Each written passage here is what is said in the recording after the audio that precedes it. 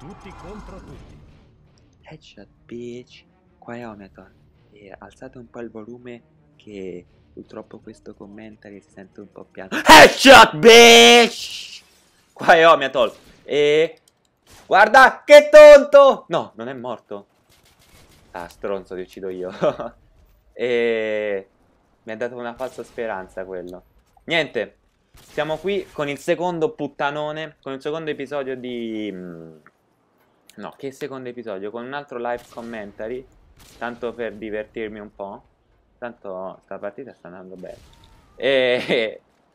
Siamo qui su iGrice, è la terza partita che faccio per via di lag, di booster e robe varie. Infatti sono un po', diciamo, ah, un po' annoiato da, sta, da sto fatto. E oggi se- volevo parlarvi di... eccolo là. Di un fatto, di un argomento che mi stava molto a cuore. Ovvero fare fail col cecchino. No, non è fare fail col cecchino. Ovvero eh, la- l'argomento del wrestling. Allora, il wrestling è, diciamo, è stata un po' la passione di tutti da... Non lo so, non so in che classe fate, ma vaffanculo, eh, troione. Però, diciamo che... mm, Madonna, da dietro e da davanti, qua ficco in culo a tutti quanti. e... Il wrestling, io non riesco mai a iniziare un commento, c'è sempre qualcosa che lo impedisce. Tipo sto noob. Sto noob di merda, eh? Testa di merda? Vogliamo fare un commentary? Eh? Eh? Devo venirti a pigliare a casa? Allora. Tanto qua aumenta la camperaggine della gente sempre di più. Questo è proprio un fail. Un altro fail. E lo uccido. Ok. Allora, il wrestling, secondo me, è, diciamo, è Uffa! Cazzo! È quello che ha dato il via a tutto.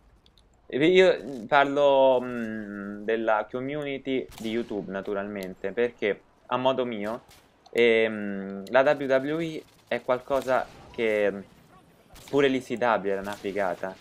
Comunque è qualcosa che ti fa in- che ti trattiene, che ti fa divertire, un po' come i montaggi online. Io mi ricordo che c'era eh, il grande Eddie Guerrero con la sua Frog Splash, diciamo che ha inventato il suo trick shot. Era la sua Frog Splash dal paletto, dal terzo paletto. Viva la razza! Il grandissimo Eddie, che poi quel bastardone, vaffanculo, pensavo che era una statua. Poi quel bastardone è morto e io lo dovevo andare a vedere al, ehm, a Livorno.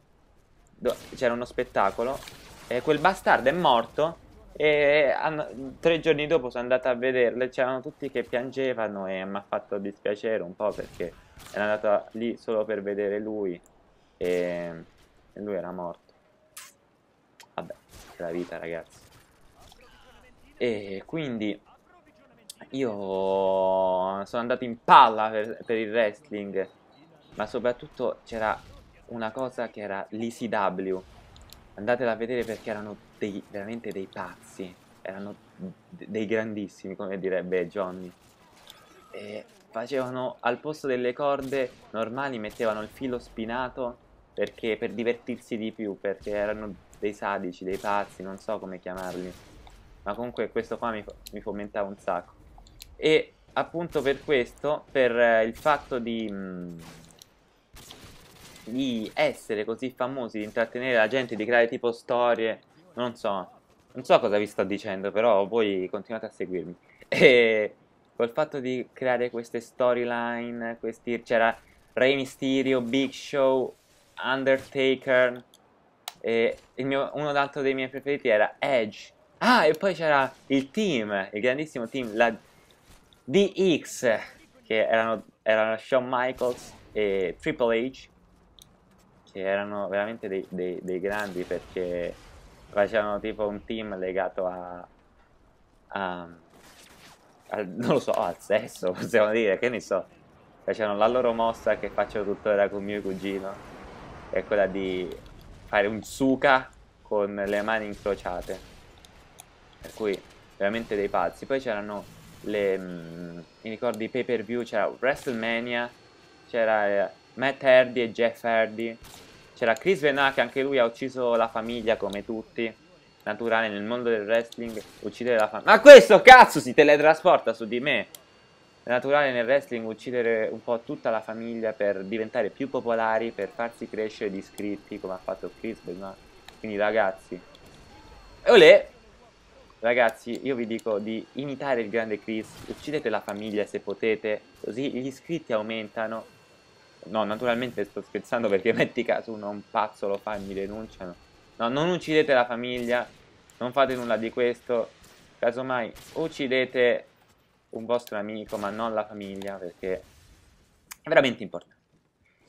E io non lo so, però non so se nel titolo metterò anche Megan Fox e wrestling, però nel caso lo metta per aumentare gli iscritti devo parlare anche di Megan Fox.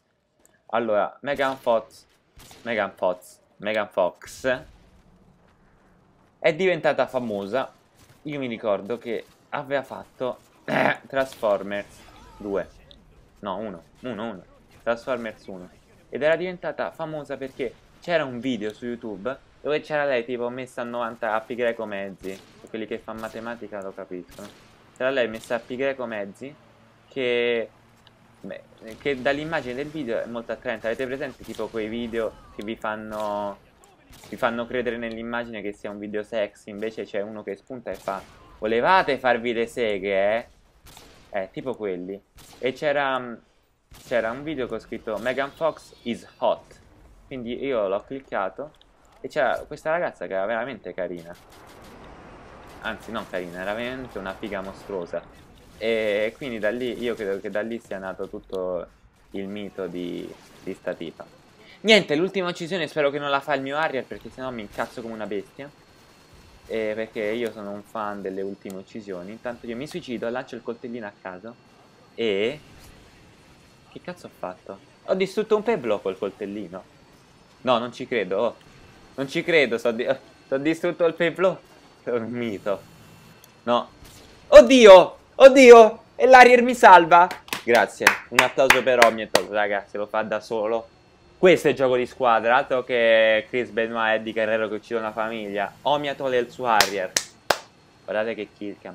Raga, se vi è piaciuta mettete pollice in giù, come ho detto prima. Che cazzo dico? Fate quello che cazzo vi pare, bella raga.